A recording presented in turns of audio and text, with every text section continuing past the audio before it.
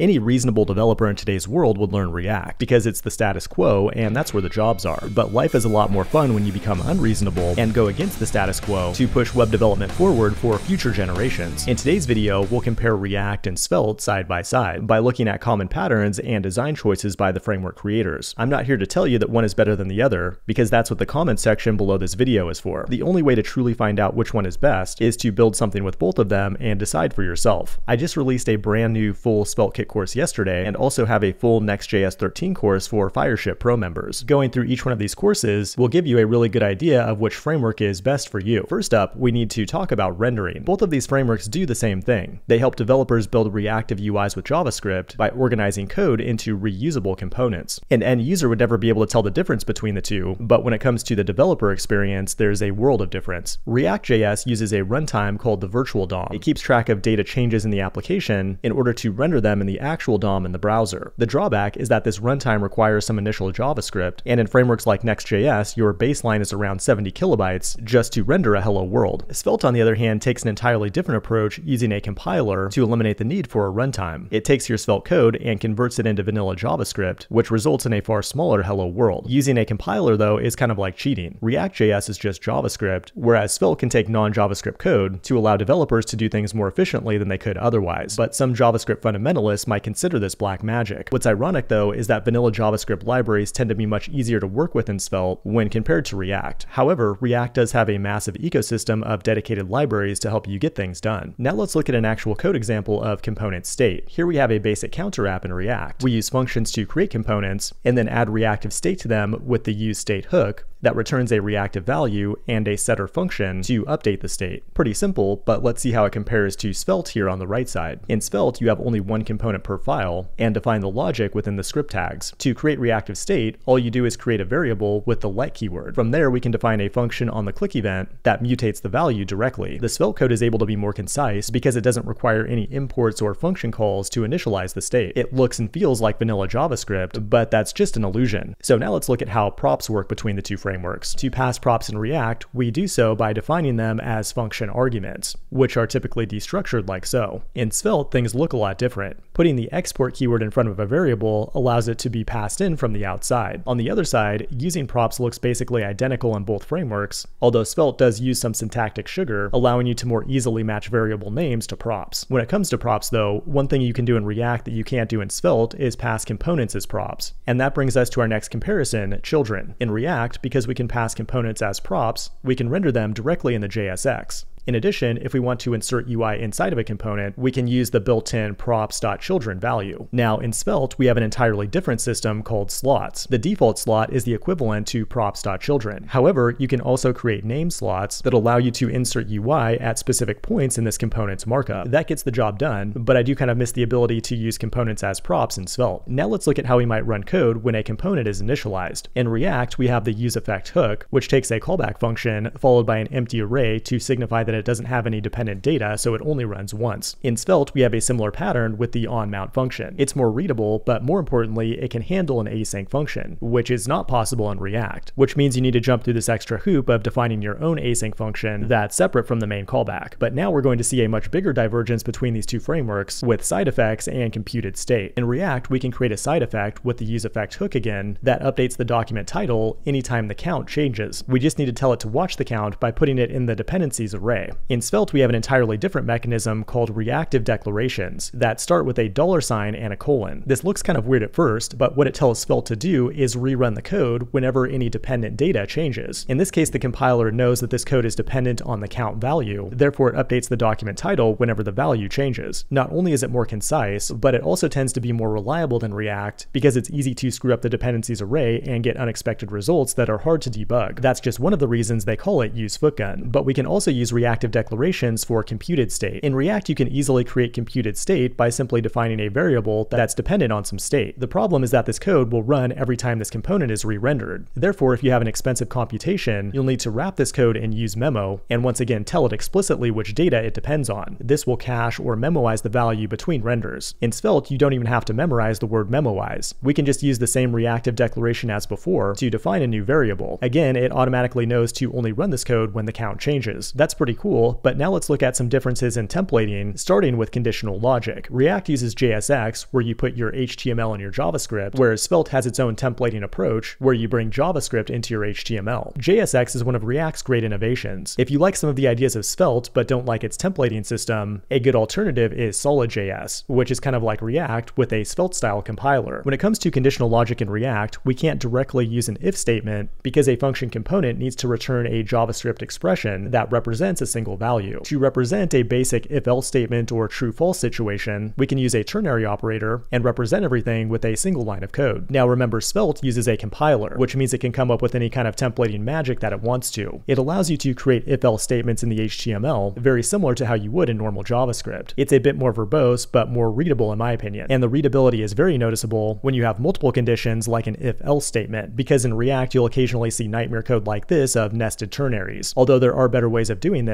like extracting the logic to its own dedicated component. And now let's take a look at loops. The most common way to loop in React is to use the map function on an array. This allows you to define a callback function that returns the UI for each item in that array. In addition, we can make it a keyed loop by adding a key prop to the child. In Svelte, we can loop over an array of data within each loop. It creates a template variable for each item, and then we can use its data inside the tags. To make it a keyed loop, we can add parentheses with the value for the key inside of the each block. Now let's switch gears to the big complicated topic of shared state. Like how do I take one reactive value and share it throughout the entire component tree? React doesn't really have a primitive way to do this out of the box, and you'll typically need to bring in a state management solution like MobX or Redux, or my personal favorite, Jotai, which means state in Japanese. With Jotai, we create an atom to represent a value, then in one or more components, we can use the useAtom hook to access that value instead of using the built-in useState hook in React. We can now use that state in multiple places because it's been decoupled from the component. Svelte has a similar mechanism built in called stores, which are very similar to observables in libraries like RxJS. We can create a writable store to represent a value. What's crazy though is that we can then subscribe to the value of that store inside of any component, both in the template and in the JavaScript. All we have to do is put a dollar sign in front of it thanks to the magic of the compiler. As a Svelte user myself, I can't even begin to tell you how much complexity and code this one little mechanism will eliminate from your codebase. It allows you to use reactive data throughout the entire application with surgical